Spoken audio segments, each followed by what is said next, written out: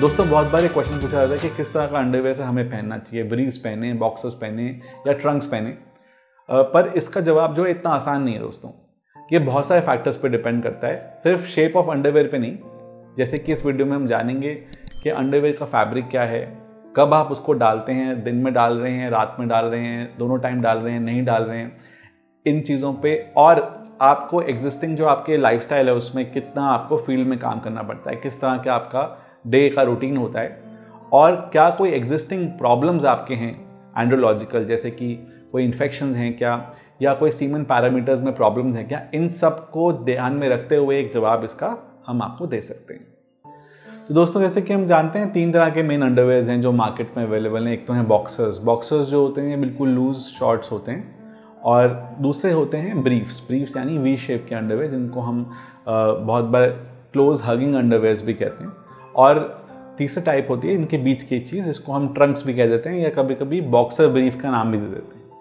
तो दोस्तों, जैसे कि हम जानते हैं कि जो बॉक्सर्स हैं, वो काफ़ी एयरी होते हैं और जो हमारे टेस्टिकल्स के आसपास जो टेम्परेचर होता है, वो हम जानते हैं कि बहुत ज़रूरी है स्पर्म प्रोडक्शन के लिए और अगर टेम्परेचर ज़्यादा हो जाता है तो फिर काफ़ी बार स्पर्म प्रोडक्शन में फ़र्क पड़ता है। इसलिए एयरी अंडरवेयर्स के लिए या लूज़ क्लोथिंग के लिए ज़्यादातर जो जनता है, वो सजेस्ट करती है डॉक्टर्स जो हैं वो सजेस्ट करते हैं। तो दोस्तों, जैसे कि हम जानते हैं, हमारे स्क्रोटम जो है, वो बॉडी से बाहर रहते हैं ना? और इसका एक पर्पज़ है, क्योंकि ऐसा कहा जाता है कि स्पर्म प्रोडक्शन जो है, वो बॉडी के तापमान से दो डिग्री कम पे होता है और इस टेम्परेचर को रेगुलेट करता है ये स्क्रोटम स्क्रोटम के आसपास कुछ मसल्स होती हैं, जिसको हम डार्टॉस मसल्स कहते हैं।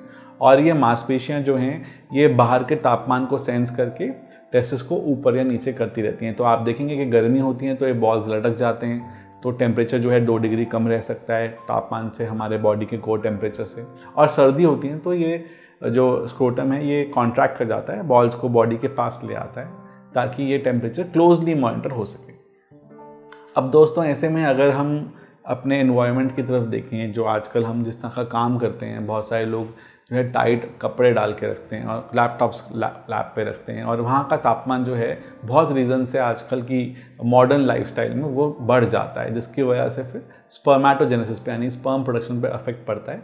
और इसीलिए हम काफ़ी बार बात करते हैं कि लूज़ क्लोथिंग को रखने की या टाइट अंडरवेयर ना पहनने की। पर दोस्तों, हम कुछ रिसर्चेस की बात करते हैं जो कि बहुत अलग अलग टाइम पे हुई हैं अलग अलग जर्नल्स में पब्लिश्ड हैं और जानते हैं कि ये क्या कहते हैं।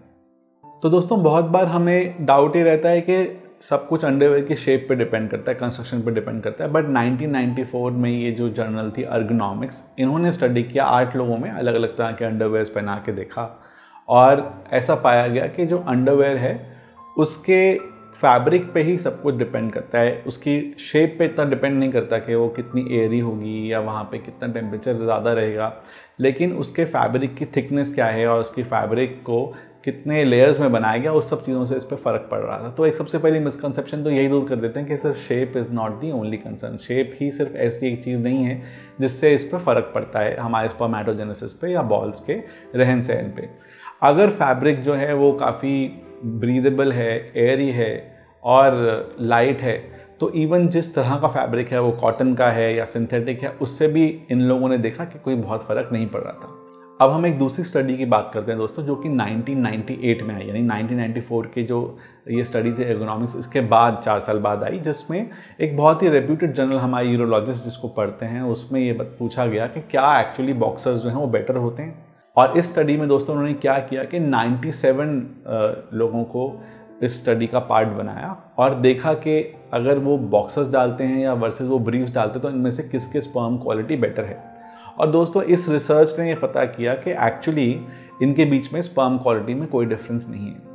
तो यहाँ तक तो सब चीज़ें बड़ी ईजी समझ में आ रही हैं कि आप कैसा भी अंडरवेयर डालें, अगर वो ब्रीदेबल है और उसका फैब्रिक बहुत ज़्यादा ऑक्लूसिव नहीं है टेम्परेचर को मेंटेन करने में बहुत ज़्यादा दिक्कत नहीं दे रहा है टेस्टस को तो आप चाहे बॉक्सेस डालें, चाहे ब्रीफ डालें, इससे कोई फ़र्क नहीं पड़ता। दोस्तों, इसके बाद एक और इंटरेस्टिंग स्टडी आई।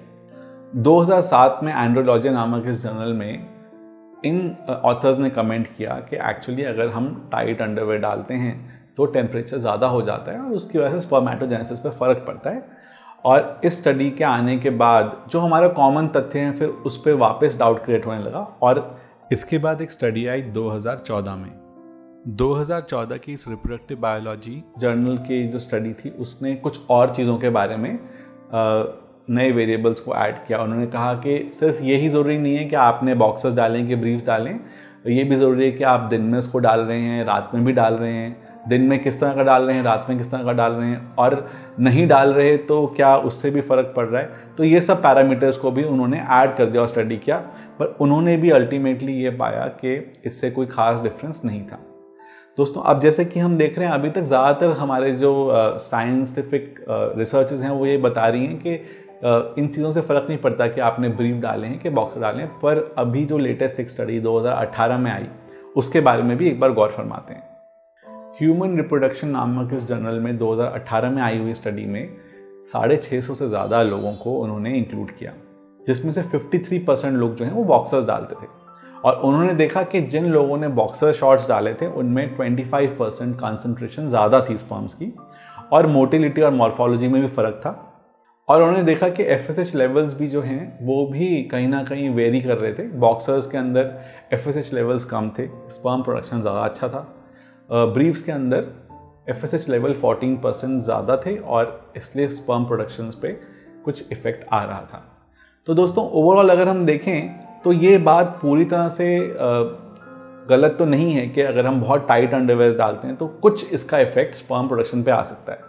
पर जैसे कि हमने ज़्यादातर स्टडीज़ पुरानी देखी, ये बहुत ज़्यादा सिग्निफिकेंट फ़र्क नहीं है दोस्तों। ऐसा नहीं है कि अगर हम अपना अंडरवेयर ही चेंज कर लेंगे तो उससे आपके सारे स्पर्म के जो प्रॉब्लम है, वो अपने आप ठीक हो जाएँगे ना? अगर आपके सीमेंट में कोई प्रॉब्लम है तो सिर्फ़ अंडरवेयर चेंज करने से तो कम से कम उसका हल नहीं हो सकता। उसको आपको कहीं ना कहीं डॉक्टर को दिखाना पड़ेगा, उसके कारण तक पहुँचना पड़ेगा कि क्यों ये स्पर्म पैरामीटर्स कम है। और फिर उसका एक सटीक इलाज अगर पॉसिबल है तो उसको करना होगा। पर ऐसे बहुत सारे दोस्त हमारे ऐसे भी हैं जिनको स्क्रोटल प्रॉब्लम्स रहती हैं, यानी कि जिनको कोई ना कोई गोलियों में दर्द रहता है या इन्फेक्शन रहता है या जिनकी गोलियाँ लटकने की वजह से उनको परेशानी हो रही है। और ऐसे में फिर नेचुरल चॉइस जो हो जाती है, वो यही होती है कि हम एक लंगोट डाल के रखें या ब्रीफ डाल के रखें, जिसमें टेस्टिस जो हैं वो बॉडी के पास ही रहेंगे, दौड़ करनी पड़ती है। तो इसमें कोई नुकसान नहीं कि आप कंफर्टेबल रहने के लिए एक ब्रीफ को डाल सकते हैं। लेकिन अगर आपका काम ऐसा है जिसमें आपको सिर्फ़ बैठे रहना है और स्पेशली आपके आसपास बहुत ज़्यादा तापमान रहता है तो आपके लिए शायद बॉक्सर्स जो हैं, वो एक बेटर चॉइस हो सकते हैं। बॉक्सर्स और ब्रीफ्स के अलावा भी बहुत सारी चीज़ें हमें देखनी है, अगर हम अपना अंडरवेयर चूज़ करें तो एक तो उसका फैब्रिक कितना ब्रीदेबल है, कितना कंफर्टेबल वो आपके लिए है, और आप किस तरह के काम में इन्वॉल्व रहते हैं। इन सबको मिला के, और क्या आपको कोई प्रॉब्लम है स्क्रोटम में, जिसकी वजह से आपको कोई स्पेसिफिक तरह का अंडरवेयर डॉक्टर ने सजेस्ट किया है? इन सब के कॉम्बिनेशन के बाद ही आप अपना बेस्ट अंडरवेयर मेडिकली चूज़ कर सकते हैं।